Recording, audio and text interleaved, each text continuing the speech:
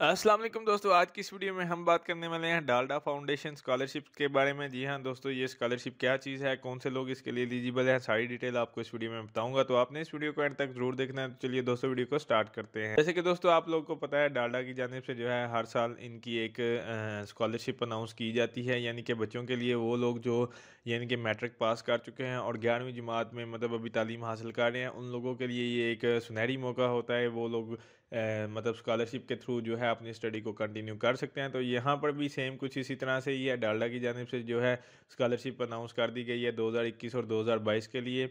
यहाँ पे आप लोग देख सकते हैं आप इसकी। यहाँ पे बेसिकली होता क्या है कि ये वाली जो एडवर्टाइजमेंट है आपको मिलेगी किधर से? तो ये यहाँ पे इनका ऑफिशियली फेसबुक का पेज है। ये आप देख सकते हो डालडा फाउंड स्कॉलरशिप तो यहाँ पर ये इनकी पोस्ट जो है आई थी।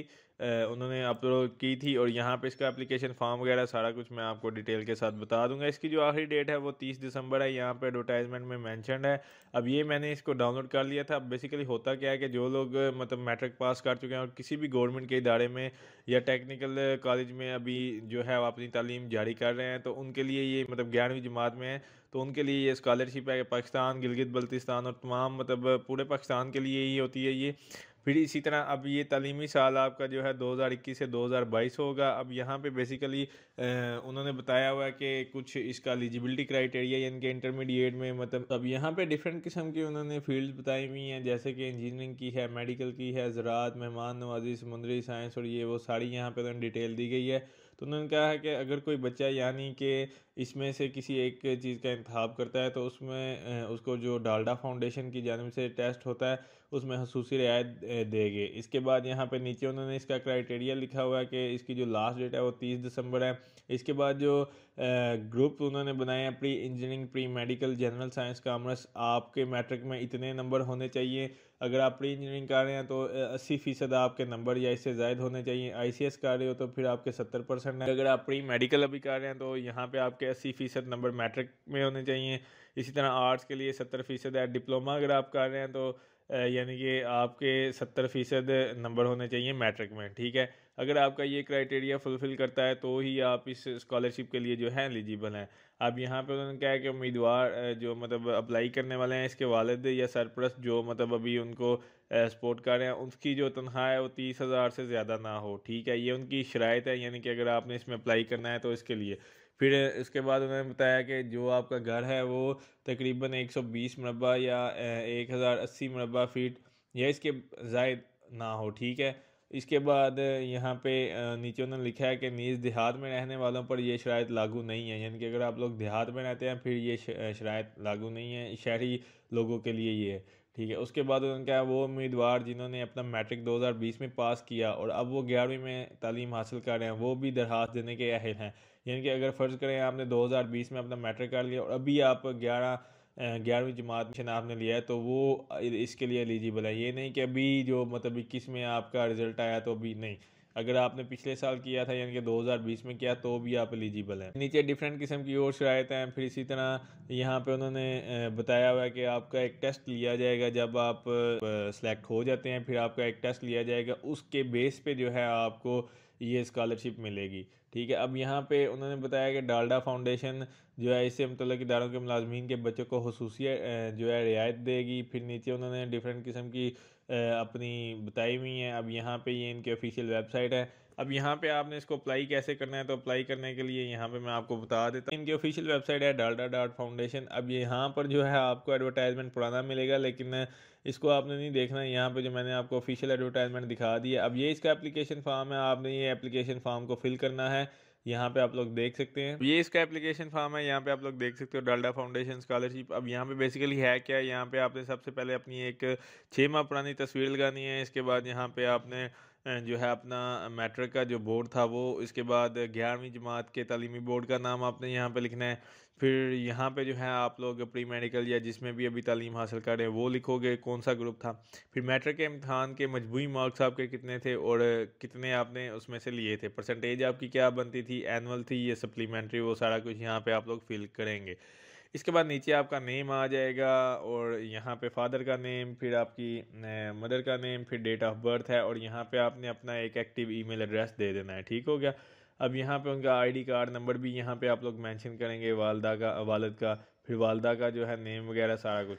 इसके बाद आपने पोस्टल एड्रेस यहाँ पे अपने घर का मुकम्मल पता इंग्लिश में लिखना है और यहाँ पे पीटीसीएल का अगर आपका नंबर है तो ठीक है। उसका नंबर लिखना है कोड के साथ। फिर अगर मोबाइल फ़ोन हैं तो फिर मोबाइल नंबर आप लिखोगे। फिर शादीशुदा या गैर शादीशुदा, वो यहाँ पे आपने बताना है। फिर आपने बताना है कि कॉलेज की तफसीत जिस जगह से आप मतलब अभी तालीम हासिल कर रहे हो, वो college, postal address, telephone number, college के प्रिंसिपल का नेम, उसका फ़ोन नंबर और यहाँ पे आपका रोल नंबर आ जाएगा। फिर यहाँ पे फाउंडेशन स्कॉलरशिप का जो मतलब डालडा फाउंडेशन की जानब से जो स्कॉलरशिप का फॉर्म का चौथा पोर्शन है, यानी कि चहारम हिस्सा, इसमें यहाँ पे आपने रेफरेंस देने हैं, ठीक है? दो कोई भी रेफरेंस बना सकते हो। यहाँ पे उन्होंने लिखा है दरहास फार्म के इस हिस्से में पहले हवाला किसी उस्ताद या उस्तानी का दें, जो आपको जानता हो, जबकि दूसरा आपने किसी पड़ोसी का। ठीक है, यानी कि एक तो आप अपने कॉलेज या जिस जगह से अभी तालीम कर रहे हो या पुराने से स्कूल से, वहाँ से आप करवा सकते हैं। तो करीबी रिश्तेदार या किसी भी पड़ोसी का आप जो है, यहाँ से एक रेफरेंस वो बना सकते हैं। फिर यहाँ पे उन्होंने कुछ सवाल हैं जो आपने जवाब देने हैं क्या आप, यहाँ पे उन्होंने पूछा आपके घर में कुल अफराद कितने हैं? वो बताना आपके घर की आमदन यानी कि कितनी है? वो यहाँ पे लिखेंगे फ्लैट या टोटल रकबा, फिर उसके बाद आपके वालद साहब या सरप्रस्त का ज़रिए माश मतलब कि उनका जो काम है वो क्या करते हैं? फिर इसी तरह क्या पहले भी किसी किस्म की कोई मतलब इस तरह की स्कॉलरशिप ले चुके हैं? फिर आप मुस्तकबिल में क्या बनना चाहते हैं? ये सारे सवाल के आपने जवाब देने हैं। के बाद यहाँ पे कुछ बैंक डिटेल्स हैं। यहाँ पे अगर तो आपका बैंक अकाउंट है यहाँ पे तो आप लोग उसको मेंशन कर सकते हैं या अपने घर वालों के किसी भी काबिल भरोसा शख्स के बैंक अकाउंट की तफसील लिख सकते हैं। अगर आपका बैंक अकाउंट नहीं है तो आप अपने वालिद वालदा का या किसी बहन भाई का अकाउंट नंबर यहाँ पे उसका टाइटल नेम क्या है? नेम उसके बाद उसका अकाउंट नंबर उसके बाद कौन सा बैंक है? बैंक की ब्रांच का एड्रेस यहाँ पे आप लिखेंगे। फिर C N I C account holder यानी कि जो भी बंदा, यानी अगर वालद वालदा या भाई बहन, जो भी है, उसके आईडी कार्ड यहाँ पे लिखोगे, जिसका अकाउंट है बैंक में। फिर उसका फ़ोन नंबर यहाँ पे लिख देंगे। फिर इसके बाद कुछ इनके हल्फनामा और मतलब सारा कुछ आपने पढ़ लेना है कि ऊपर जो भी इन्फॉर्मेशन दिया वो ठीक है। यहाँ पे आपके सिग्नेचर और डेट आ जाएगी। अब यहाँ पे आपने ये सारा कुछ कर लिया। अब साथ में आपने इसके डॉक्यूमेंट्स वगैरह लगाने हैं। मैट्रिक की मार्कशीट अटेस्टेड होनी चाहिए। वालद वालदा का कार्ड जो है फ़ोटो कापी फिर इसी तरह अकाउंट होल्डर के शनाख्ती कार्ड की फ़ोटो कापी ये सारा कुछ आपने साथ अटैच करना है। इसी तरह यहाँ पे उन्होंने बताया डालडा स्कॉलरशिप इंतहाई गरीब जहीन तलबा तलबात के लिए। तो कोशिश करें कि यार, अगर आप लोग वाकई हकदार है या तो इस चीज़ के तो फिर ही आप लें, वरना किसी का हक आप जो है ना माने। उसके बाद जैसे ही आप लोग सारा कुछ अपने डॉक्यूमेंट्स वगैरह लगा देंगे तो आपने इस पते पे इनको भेज देना है। ये देख सकते हो Dalda foundation trust P O box number सत्रह छः सौ चौवन, Gulshan Iqbal Najd N I P A Chaurangi Karachi. यहाँ पे आप लोग इसको सेंड कर देंगे। यहाँ पे उन्होंने मेंशन किया कि अगर आप फार्म बजरिया कुरियर सर्विस भिजवाना चाहते हैं तो यहाँ पे आप इस पते पे भेजेंगे, ठीक है? तो इसके बाद फिर उनने ये जो है फॉर्म है एडमिट कार्ड का। इसके बाद यहाँ पे कुछ दूसरी मालूम आ जाती हैं, जिसमें यहाँ पे आपका एडमिट कार्ड है, यहाँ पे बोर्ड वगैरह, क्लास वगैरह, यहाँ पे आप सारा कुछ लिखेंगे। और इसके बाद नीचे हम आते हैं तो ये इनका जो है पूछेगा कि आप किस शहर में टेस्ट देना चाहते हैं, उसमें से एक शहर आप यहाँ से चूज़ कर सकते हैं। फिर यहाँ पे नीचे उन्होंने ज़रूरी हिदायत दी हुई है कि इम्तहानात किस किस्म के हो सकते हैं, यानी कि कैसे जो है इसका टेस्ट होगा। अब जो इसका टेस्ट है, वो सात सवा साठ सवालों पर मुश्तमिल होगा, साठ मिनट का टेस्ट होगा एम सी क्यूज़ टाइप इसका जो है टेस्ट होगा। नेगेटिव मार्किंग इसमें नहीं होगी और यहाँ पे उन्होंने बताया हुआ कि प्री इंजीनियरिंग केमिस्ट्री फिजिक्स और प्री मेडिकल के लिए इसमें से मतलब आपका टेस्ट आएगा, ठीक होगा तो ये इस तरह से जो है आपने टेस्ट वगैरह के बारे में आपको पता चल जाएगा और बाकी जो है इसकी जो इंफॉर्मेशन है वो इनके ऑफिशियली पेज पे या इनकी जो वेबसाइट है डालडा फाउंडेशन यहाँ पे आपको जो है मिल जाएगी। यानी कि कब टेस्ट होगा और कब इंटरव्यू का नतीजा वगैरह गया, सारी डिटेल आपको जो है इस पर मिल जाएगी। तो उम्मीद करता हूँ दोस्तों आपको वीडियो अच्छी लगी होगी। अगर अच्छी लगी तो उसको लाइक कीजिए शेयर कीजिए हमारे चैनल को सब्सक्राइब ज़रूर कीजिए। शुक्रिया।